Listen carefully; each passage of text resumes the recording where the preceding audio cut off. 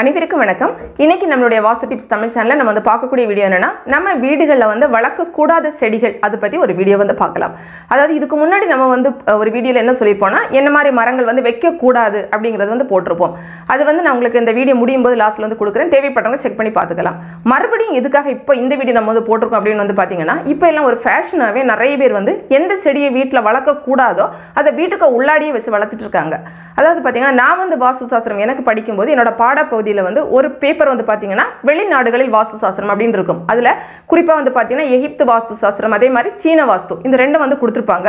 இந்த சீன வாஸ்து வந்து பார்த்தீங்கன்னா அதில் வந்து ஒரு சில இடங்கள் என்ன கொடுத்துருந்தாங்கன்னா வீட்டிற்கு உள்ளாடி பாலைவன செடிகளையும் அதே மாதிரி பொன்சாய் செடிகளையும் வளர்க்கக்கூடாது அப்படின்னு சொல்லி இருக்குது சரி அது என்ன ஏன் பண்ணக்கூடாது அப்படின்னு சொல்லிட்டு நம்ம அதுக்கப்புறம் வேற எல்லாம் நிறைய ரெஃபர் பண்ணி பார்க்கும்போது கிடைச்ச விஷயம் தான் உங்கள் கூட ஷேர் பண்ண போகிறேன் என்னென்னு பார்த்தீங்கன்னா பாலைவன செடிகள் அப்படின்னு சொல்கிறது என்னென்னா நம்ம இந்திய வாஸ்து சாஸ்திரம் அதுலேயே சொன்ன விஷயம் தான். அதாவது முட்கள் அதிகமாக இருக்கக்கூடிய செடிகளை வைக்கக்கூடாது கள்ளி செடிகளை வைக்கக்கூடாது அப்படின்னு சொல்லுவாங்க. ஸோ பாலைவன செடிகள் அப்படிங்கிறது அந்த கேக்டஸ் பிளான்ட் தான். அதாவது பார்த்தீங்கன்னா அதில் நிறைய வெரைட்டி இப்போ வந்து இருக்குது அது வந்து அந்த முள் முள்ளாக அந்த மாதிரி இருக்கும் கூர்மையாக இருக்கும். ஒரு நெகட்டிவ் இது கொடுக்கக்கூடிய செடியாக தான் இருக்கும். ஸோ அதை கொண்டு போய் நம்ம நம்மளோட வீட்டுக்கு உள்ளாடி வச்சோம் அப்படின்னா நல்லது கிடையாது. ஸோ வீட்டுக்கு உள்ளாடி அந்த செடிகளை வைக்கிறது தவிர்க்கிறது ரொம்ப நல்லது. அப்புறம் இன்னொன்று வந்து என்னென்னு பார்த்தீங்கன்னா பொன்சாய் செடிகள். ஸோ இந்த பொன்சாய் செடிகள்னால் என்னென்னு பார்த்தீங்கன்னா நார்மலாக ஒரு பெரிய மரம் மாதிரி வளரக்கூடிய ஒரு தாவரத்தை அந்த மாதிரி வளர விடாமல் அதை வந்து நம்மளோட டெக்னாலஜியெல்லாம் யூஸ் பண்ணி நம்ம வந்து என்ன பண்ணுறோம் குட்டியாக பார்க்குறதுக்கு அழகாக அந்த மாதிரி க்யூட்டாக ஒரு சின்ன செடி மாதிரி பண்ணுறோம் ஸோ அதோட என்ன பண்ணுறோன்னா அதோட வளர்ச்சியை நம்ம தடுக்கிறோம். தடுத்து தான் அந்த மாதிரி வச்சுருக்கோம். ஸோ அதை கொண்டு போய் நம்ம வீட்டுக்குள்ளாடி வச்சோன்னா அந்த வளர்ச்சி அப்படிங்கிறது தடைப்படுறது மாதிரி தான் இருக்கும். ஸோ அதனால் வந்து பார்த்திங்கன்னா அதுவும் வந்து சரி கிடையாது. முடிஞ்ச வரை பொன்சாய் செடியாக இருக்கட்டும் அதே மாதிரி இந்த கேக்டஸ் பிளான்ட் அது ரெண்டுமே நம்ம வீட்டுக்குள்ளே வந்து வைக்கிறத நம்ம வந்து தவிர்க்கிறது வந்து நல்லது. அதே மாதிரி வந்து பார்த்திங்கன்னா இன்னொன்று முக்கியமான இது இப்போ நிறைய பேர் வந்து அது எருக்கு செடிகளை வீட்டில் வந்து வைக்க ஆரம்பிச்சிட்டாங்க. அது கூட வந்து பார்த்தீங்கன்னா இது ரொம்ப நல்லது அப்படின்னு சொல்லிட்டு வீட்டு வீட்டுக்கு வாசல் பக்கத்துலேயே அந்த மாதிரி வந்து வைக்கிறாங்க. அதுவுமே வந்து பார்த்தீங்கன்னா எருக்கில் எந்த ஒரு வெரைட்டியாக இருந்தாலும் சரி கட்டாயமாக நம்ம வந்து வைக்கக்கூடாது நம்மளோட இந்திய வாஸ்து சாஸ்திரம் அதிலே கொடுத்துருக்காங்க. நம்ம வந்து எருக்கு செடி நம்ம வீட்டுக்கு ஆகாது அப்படிங்கிறது. அது வந்து பார்த்தீங்கன்னா ஒரு சிலது வந்து அவங்க வந்து மாந்திரிகம் அதெல்லாம் செய்கிறதுக்கு இல்லைனா வேறு மருந்துகள் செய்கிறதுக்கு பயன்படுத்துவாங்க. அவங்க வந்து வச்சுப்பாங்க. ஆனால் அதுக்காக சொல்லிட்டு நம்ம வந்து நம்ம வீட்டில் வைக்கிறது கண்டிப்பாக அது சரி கிடையாது. நமக்கு அது நெகட்டிவ் இது கொடுக்குற மாதிரி தான் இருக்கும். ஸோ எருக்கு செடியும் வீட்டில் வந்து வைக்கவே கூடாது.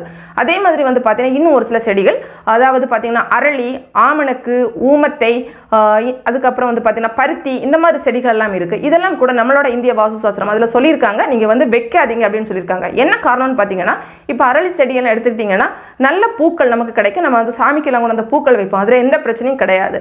அதே மாதிரி வந்து பார்த்தீங்கன்னா நீங்கள் வந்து அந்த பூக்கள் வச்சு வியாபாரம் பண்ணுறது அப்படியே இருந்தால் கூட நீங்கள் அந்த செடிகளை தோட்டத்தில் வந்து வச்சுக்கலாம். ஏன் வந்து நம்ம வீட்டு பக்கத்தில் வைக்கக்கூடாது அப்படின்னு சொல்கிறோன்னா அதில் வந்து நமக்கு தெரியும் அரளிக்காய் அப்படிங்கிறது ஒரு விஷக்காய் அப்படிங்கிறது தெரியும். ஸோ அதனால் ஒருவேளை நமக்கு நமக்கு ஏதாவது பிரச்சனைகள் வரக்கூடாது. இல்லை நம்ம வீட்டில் வரவங்களுக்கு ஏதாவது பிரச்சனைகள் வரக்கூடாது. யாராவது தெரியாமல் எடுத்து அஹ், சாப்பிட்றக்கூடாது இல்லை ஒருவேளை மனுஷன் வந்து எப்போ ஒரே மனநிலையில் இருக்க போகிறது கிடையாது. சில நேரம் ஏதாவது தவறான முடிவு எடுக்கிறதுக்கு அது காரணமாக இருக்கக்கூடாது அப்படிங்கிறதுனால தான் அரளி செடியெல்லாம் கூட நம்ம வீட்டில் வைக்க வேண்டாம் அப்படின்னு சொல்லியிருக்காங்க. மற்றபடி நீங்கள் வந்து அதை தோட்டத்தில் வச்சுட்டு வியாபாரம் பண்ணுறதுக்கு அந்த மாதிரிலாம் பண்ணிக்கலாம். இல்லை அரளி பூவெல்லாம் கொண்டு போய் நம்ம சாமிக்கெல்லாம் வைக்கலாம். தப்பு கிடையாது.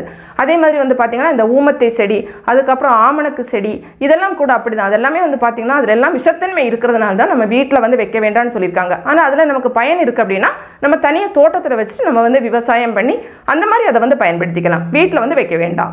அதே மாதிரி வந்து பார்த்தீங்கன்னா பருத்தி செடி. பருத்தி கூட வந்து பார்த்தீங்கன்னா உங்களுக்கு அந்த பஞ்சு வெடிச்சு அதெல்லாம் வரதுனால கூட நமக்கு வந்து நுரையீரல் சம்மந்தப்பட்ட பிரச்சனைகள் எல்லாம் வரதுக்கு வாய்ப்புகள் வந்து இருக்கும். ஸோ பருத்தி செடி நம்ம வந்து வீட்டில் வந்து வைக்கிறத தவிர்த்துக்கலாம். ஸோ ஓவரால் பார்த்தீங்கன்னா அந்த காலத்தில் உங்கள்கிட்ட வந்து ஏதாவது செடிகள் வைக்க வேண்டாம்னு சொன்னாங்கன்னா கட்டாயமாக அதுக்கு பின்னாடி வந்து ஒரு காரணம் வந்து இருக்கும். காரணம் இல்லாமல் சொல்லியிருக்கவே மாட்டாங்க.